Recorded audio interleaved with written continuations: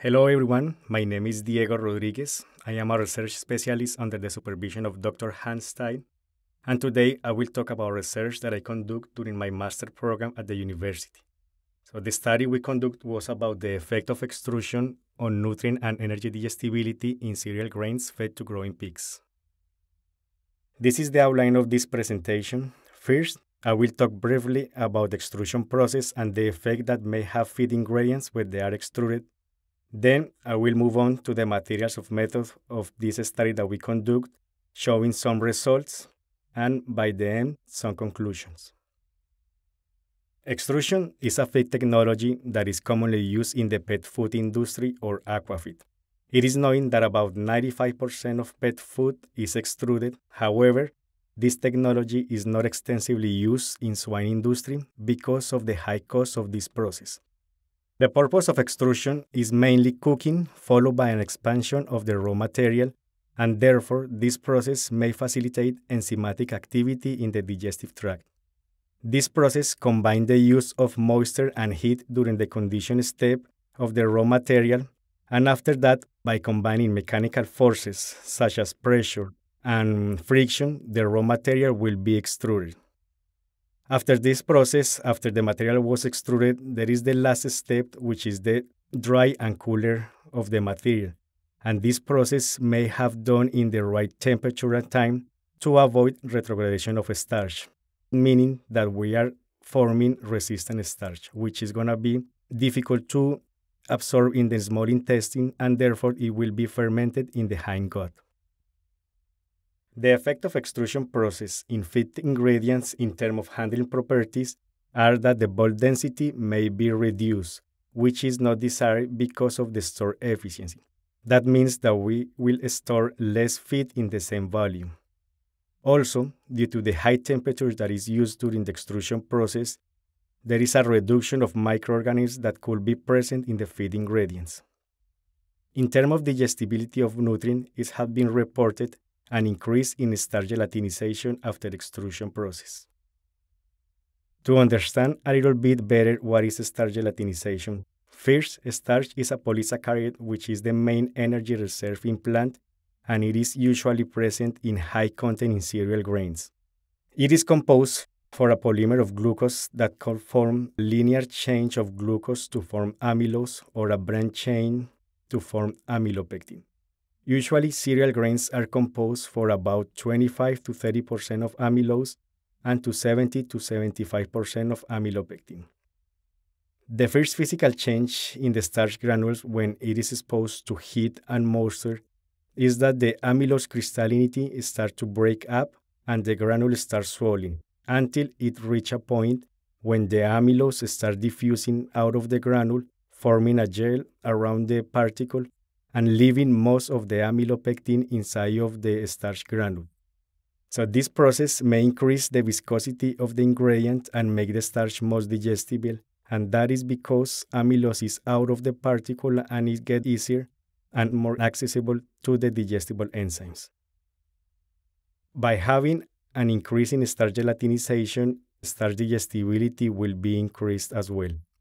Also, it's been reported that by extrusion process, energy digestibility will be increased.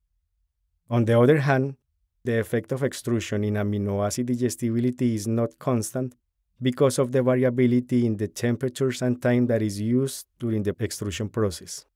And that is because high temperatures may increase the naturation of protein especially the amino acid lysine due to the Maillard reaction. Therefore, the objective of this study were to test the hypothesis that the extrusion of cereal grains may increase ileal digestibility of amino acid and starch, as well as an increase in the apparent total tract digestibility of fiber and gross energy, and also an increase in the concentration of digestible and metabolizable energy. Now, let's move on into the materials and methods of this study. For this study, we utilized three different cereal grains corn, wheat, and sorghum that were ground to have a particle size of around 500 microns, and each grain was divided into two batches. So the first batch was used without any further process, whereas the second batch was extruded. Therefore, we had six different treatments for this study. To test our hypothesis, we conduct two different experiments. The first experiment was to determine the effect of extrusion in amino acid digestibility, and the second experiment was to determine the effect of extrusion in nutrient digestibility. For the fixed experiment, we utilized seven cannulated barrows with an initial body weight of 14 kilos and for this experiment, we formulate six different diets containing around 93% of inclusion of one of the H cereal grains as the only source of amino acid. Also, for this experiment, we formulate a nitrogen free diet to determine the basal endogenous losses of amino acid from the pig. For the second experiment, we utilize 48 growing barrows with an initial body weight of around 15 kilos and for this experiment, we formulate six diets containing around 97% of inclusion of one of the H cereal grains as the only source of energy. Now, let's move on into the results for this study. Before I continue with this presentation, I will set up the slides that I'm going to use for the most part of this presentation. In blue colors, corn will be represented wheat will be represented in orange colors and sorghum will be represented in green colors, where the dark colors will be the cereal grains that were used with no extrusion, and the light color will be the cereal grains that were extruded. Cereal grains that were not extruded had a moisture content of around 12%, but after extrusion, there was a reduction of moisture content in all cereal grains. This effect was expected due to the dry process that is done during the last part of extrusion. For this reason, I will present the data based on 88% of dry matter so we can observe more accurate the difference between the cereal grains that were extruded or not extruded. Now we are looking at the effect of extrusion in fiber. Neutral detergent fiber in corn, wheat, and sorghum were about 8 to 12 percent, whereas less NDF was analyzed in the extruded cereal grains. Similar trend was observed for the acid detergent fiber. Non-extruded cereal grains had greater ADF concentration compared with extruded cereal grains. This means that the most fermentable part of the fiber in the three cereal grains were solubilized and therefore the less fermentable part of the fiber was left in the cereal grains after extrusion. In terms of protein quality, we analyzed crude protein and it was observed that there was no reduction of crude protein after the extrusion process. However, because of the heat treatment during extrusion, we wanted to see if there was a damage in amino acid so we calculate the lysine to crude protein ratio to observe if there was any damage of lysine due to the Maillard reaction, and it was observed that the lysine to crude protein ratio did not change after the extrusion process. That means that the extrusion in this case was performed in a good quality. Of course, we have to look the gelatinization of the starch because the main purpose of extrusion is the starch gelatinization we observed that the total starch in the three cereal grains was about 60%, which it was expected based on the literature. And among the total starch of each cereal grain, we observed that less than 10% of that starch was gelatinized before extrusion process. However, with similar concentration of starch, the extruded cereal grain had more gelatinized starch and we observed that the total starch that was gelatinized was more than 90% of the total starch.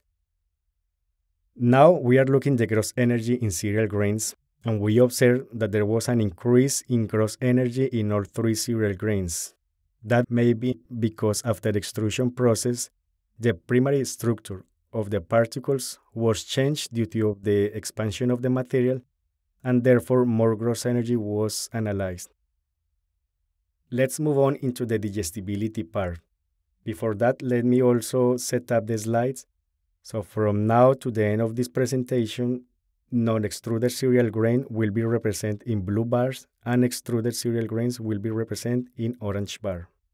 The apparent ileal digestibility of starch, we observed that there was no interaction between extrusion and the cereal grains. However, the AID of starch in non-extruded cereal grain was about 90%, and by extruding, the AID of starch increased almost up to 99%. And this may be explained because of the increase in starch gelatinization of the cereal grain. There was an interaction for the standardized ileal digestibility of crude protein between cereal grains and extrusion process, and we observed that the corn that was extruded has greater SID of crude protein compared with the non-extruded corn. However, this effect was not observed for wheat and sorghum. We also wanted to see the effect of the individual amino acids, and we observed that for digestibility of lysine, there was no interaction between cereal grains and extrusion process. However, after extrusion, there was an increase in SID of lysine in all three cereal grains compared with non-extruded cereal grain. And for this case, we expect that a reduction of lysine due to the Maillard reaction and the high temperature that is usually used during extrusion process. However, in this case, there was no any damage of lysine after extrusion process. In terms of digestibility of methionine, we observed that there was an interaction between cereal grain and extrusion, and it was observed that the extruded corn had greater methionine digestibility compared with non-extruded corn, but there was no any difference after extrusion for wheat and sorghum.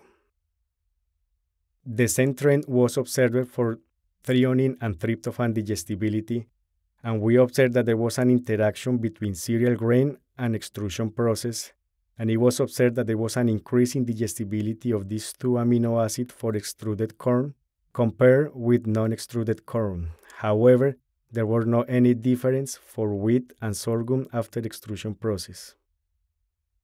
Now we are looking the apparent total tract digestibility of gross energy, and we observed that there was an interaction between extrusion and cereal grain, and it was observed that after extrusion process, there was no difference for extruded wheat or non-extruded wheat. However, there was an increase in apparent total tract digestibility of gross energy after extrusion process in corn and sorghum. There was an interaction between cereal grains and extrusion that digestible energy was increased by extrusion, but the degree of increment was less in wheat compared with sorghum or corn. And the same was observed for metabolizable energy that the effect of extrusion was greater in corn and sorghum compared with wheat. So from this data, more of the effect that was present was found in corn and sorghum, in terms of digestibility of amino acid and energy and the concentration of digestible and metabolizable energy, compared with the effect of extrusion in wheat. Based on the literature, the structure of wheat in terms of starch and fiber is more complex compared with the structure in corn and sorghum. And that means that during the extrusion process and the process of expansion of the raw material, it is more difficult to have an effect in starch due to the organization of the starch inside of the kernel of the wheat. Now we are looking in terms of digestibility of fiber, and we observed that there was no interaction between cereal grain and extrusion. However, by extrusion of cereal grains, the apparent total tract digestibility of ADF decreased in all three cereal grains.